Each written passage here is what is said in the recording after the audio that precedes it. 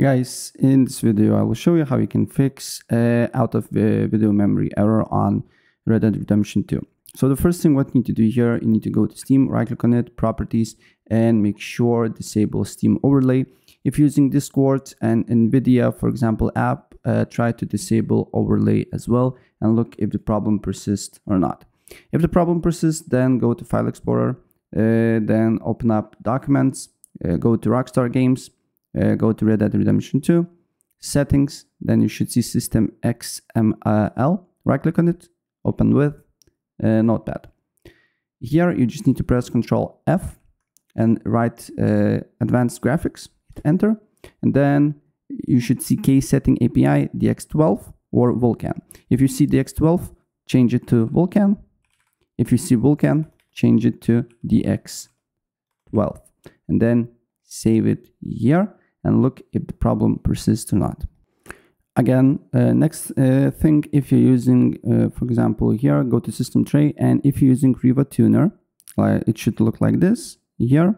Just completely close it, or if you're using MSI Afterburner, just close it as well. It should be known on Task Manager and System Tray. Sometimes it can cause, it can be the problem here. Try to disable and look if the problem persists.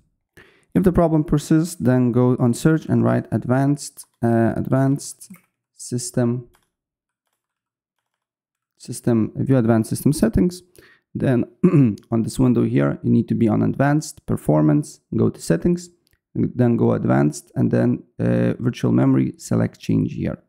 then what you need to do here is to make sure to deselect this option here, then select custom size here. Then you need to go to and open up uh, on search system information.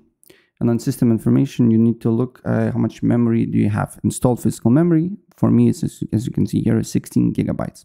So then you just need to open up calculator. And then you need to put the value of your uh, RAM times 1000 times 1.5. And the number that you get here, you need to go to a initial size.